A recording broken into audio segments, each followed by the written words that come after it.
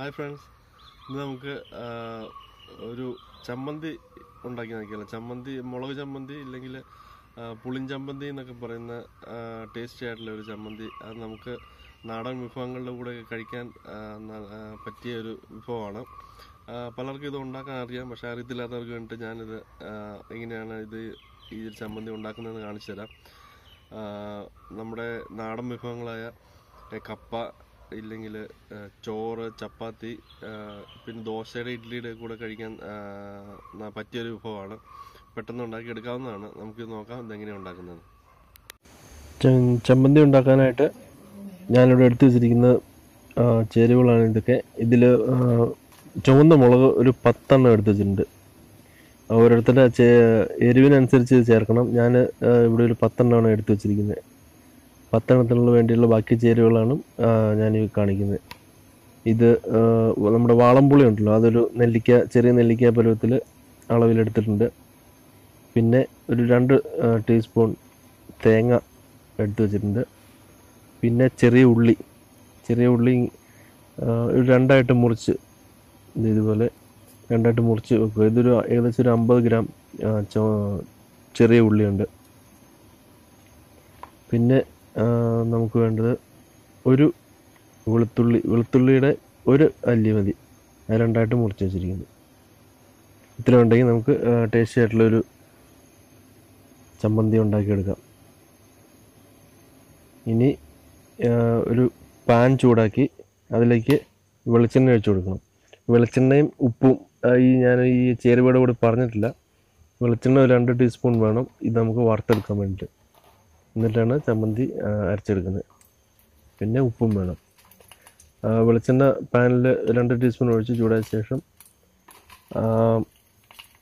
ചുവന്ന മുളകിന്റെ ഒരു ഞെടുപ്പുണ്ടല്ലോ അത് ഒടിച്ചു മാറ്റിയിട്ട് എണ്ണയ്ക്കകത്തിട്ട് ചെറുതായിട്ടൊന്ന് വറക്കുക.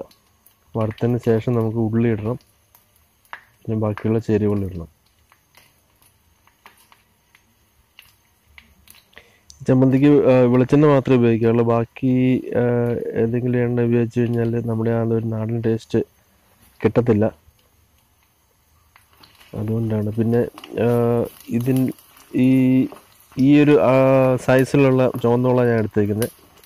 സൈസ് ചെറുതാണെങ്കിൽ ഒന്നോ രണ്ടോ കൂടുതലെടുക്കാം ഇല്ലെങ്കിൽ എരു കുറച്ച് മതി എന്ന് വേണ്ടവർക്ക് ഇതിലൊരു രണ്ടെണ്ണം കുറച്ച് കൊടുക്കാം. കുഴപ്പമില്ല.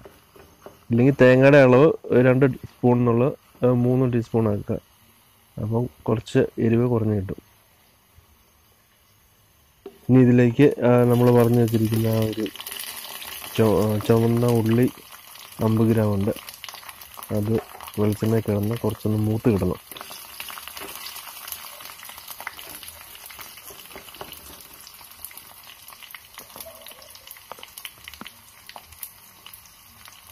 വെളിച്ചെണ്ണ കിടന്ന് കുറച്ച് രണ്ടായിട്ടാണ് മുറിച്ചിരിക്കുന്നത് അതുകൊണ്ട് ചെറുതായിട്ട് ഒരു ഇടത്തരം ഫ്ലെയിമിൽ വെച്ച് വേവിച്ചെടുക്കുക.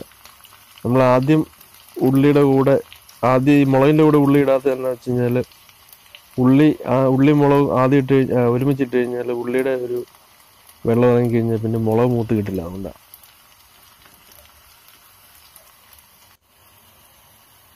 ഇനി നമ്മൾ എടുത്തു വെച്ചിരിക്കുന്ന വാളൻപുളി അത് ഒരു ചെറിയ നെല്ലിക്ക പരുവത്തിലാണ് ഞാൻ ഒരു അളവിൽ എടുത്തു വെച്ചിരുന്നത്. അത് എണ്ണയ്ക്കകത്തിട്ട് ഇടുക. ഇതിന്റെ കൂടെ ഈ മുളകിന്റെയും ഉള്ളിയുടെയും കൂടി ഇട്ട് അത് ജസ്റ്റ് ആ എണ്ണയിലിട്ട് അത് ചെറുതായിട്ടൊന്ന് മൂപ്പിച്ചെടുക്കണം. എണ്ണയിൽ ഈ പുളി ഇടുന്ന ചെറുതായിട്ട് മൂത്ത് കഴിഞ്ഞാൽ ചമ്മന്തിക്ക് നല്ല ടേസ്റ്റ് കിട്ടും.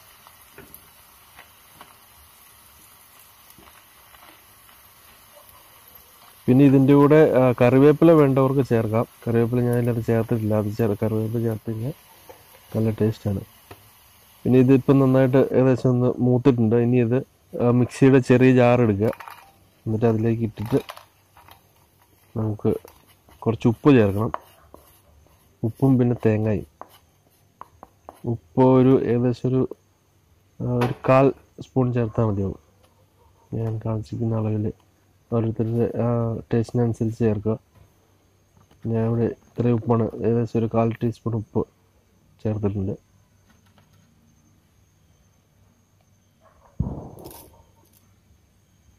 ഇനി തേങ്ങ.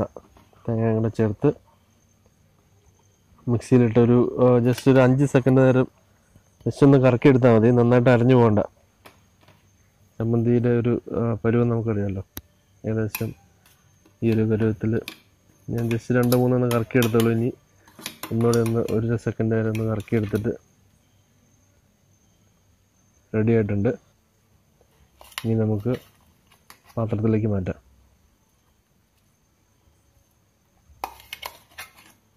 നല്ല നന്നായിട്ട് അരഞ്ഞു വന്നിട്ടുണ്ട്. നല്ല മണവും വരുന്നുണ്ട്. എല്ലാം മൂത്ത് വെളിച്ചെണ്ണ കിടന്ന് മൂത്ത് കിട്ടിയിട്ടുണ്ട്.